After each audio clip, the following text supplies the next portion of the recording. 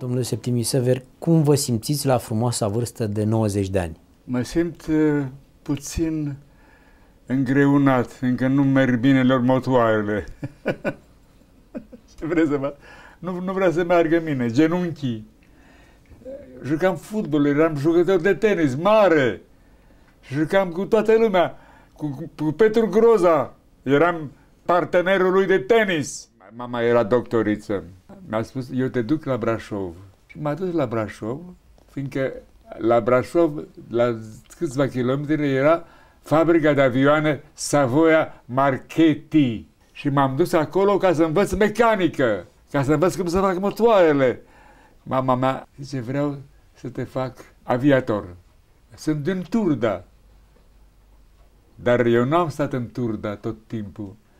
Am plecat din Turda când părinții mei au fost obligați să plece din Turda în București. Și m-am dus la conservator să, să fac vioara.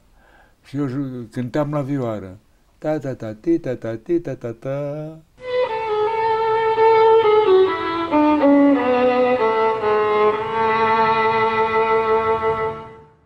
Păi zic că vreau să fac vioară.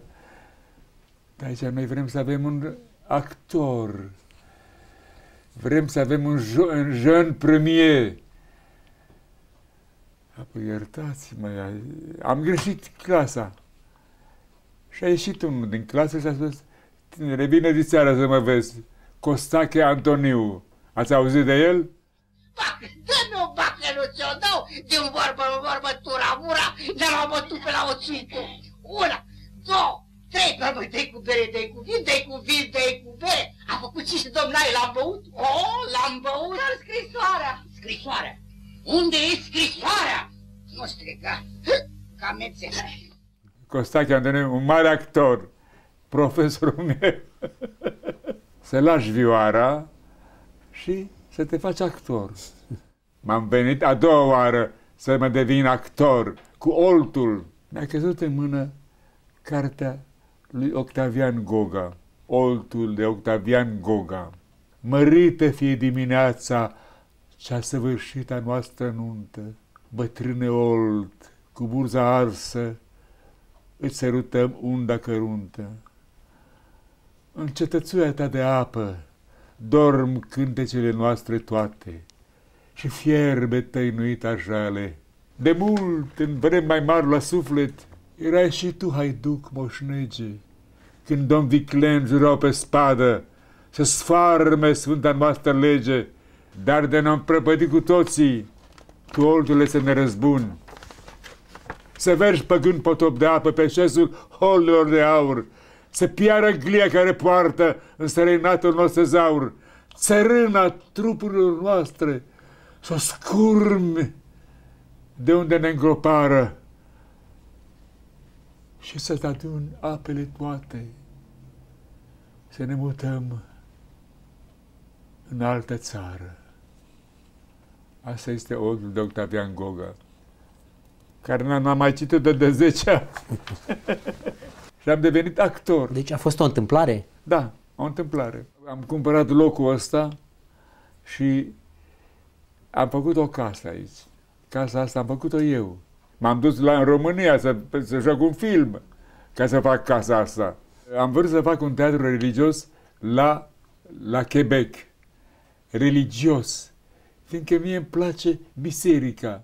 Care a fost rolul pe care l-ați îndrăgit cel mai mult în România? În România jucam cu actori mari și... Cu cine? Ce actori? Madame Bulandra, era directora teatrului și m-a chemat, a venit la o filmare de-a mea, eu făceam un film pentru ruși și zice, Septimiu, am nevoie de tine să-mi joci Răzvan și Vidra. un țigan. Jucam toate piesele bune în România. Cu meseria mea am avut noroc. Aveți vreo întâmplare cu Albulescu? Era prăpădit, n-avea cu să se îmbrace. Și eu i-am făcut haine. Ce face? Eu zic să așteptăm pe ai noștri. Cocea l-a auzit de marș. El vine cu toată oștirea Olteniei. Ai suntem puțini, Maria ta. Nu e bine, doamne, nu e bine. Părinte, la luptă știi să conduci frumos, cu slujba religioasă te descurci, dar cu politica... Bine, o las eu. Dar tot nu pricep de ce noi așteptăm pe ei noștri și pe urmă să ne luăm la bătaie cu Sigismund. De, de ce ați plecat din România? De ce ați emigrat în 1971?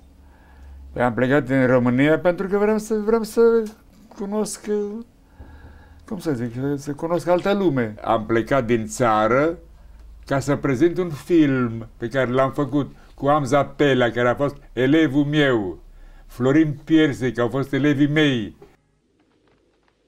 Pentru dragostea care o aveți față de mine, lăsați-i să treacă așa cum sunt. Sunt copiii de pe pământurile noastre. De ce, Mihai? Pentru că fără ajutorul lui nu pot ajunge la Istanbul. Și după cât îl cunosc eu, n-a lăsat niciodată să scape prada din mână. Eselim, prietenul meu din copilărie. Vă rog, lăsați-l să treacă.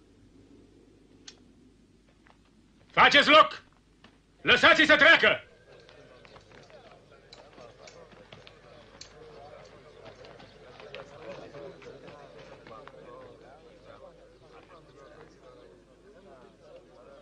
Și așa am ajuns în Canada. Care a fost cea mai grea perioadă după emigrare? Cea mai dificilă, după imediat cum ați ajuns în Canada? Dragă, mai, mai grea perioadă, soția mea m-a ajutat foarte mult.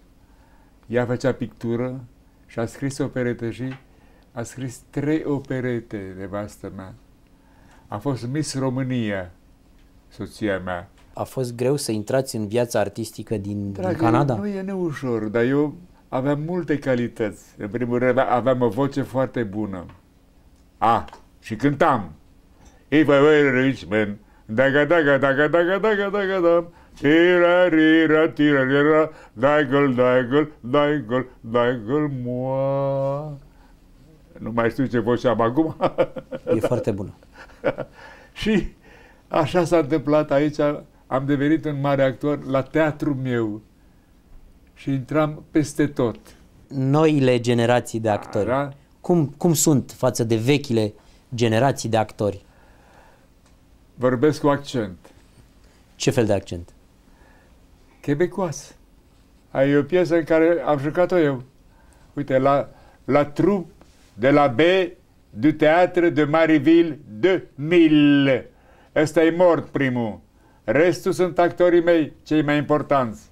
Soția mea care vedeți acolo a comandat-o pentru, pentru ea personal. Ăla. Eu n-am mai fost în România de foarte multă De, vreme. de câtă vreme? Nu știu, de 10 ani. Ce înseamnă limba română? pentru Limba română? dumneavoastră? O limbă pe care am iubit-o foarte mult. Transmiteți un mesaj românilor de, de peste tot din lume, de pretutindeni. Să-i spui lui Vrâncean și cei lungureani ca să mă îngroape aici, pe aproape, în strunga de oi, să fiu tot cu voi, în dosul stânii, să-mi aud câinii. Asta să le spui. Fluieraj de fag, mult zice cu drag, fluieraj de os, mult zice duios, fluieraj de soc, mult zice cu foc. Vântul când abate, prin ele străbate, și oile s-o strânge, pe mine mor plânge, cu lacrimi de sânge. Iar tu de omor, să nu le spui lor. Să le spui curat că m-am însurat cu o mândră crăiasă, a lumii mireasă, că la nunta mea a căzut o stea, soarele și luna mi-au ținut cu una, braz și păltinaș i-am avut nuntaș, preoți munțitar, pasări lăutar, păsărele mii și stele făclii.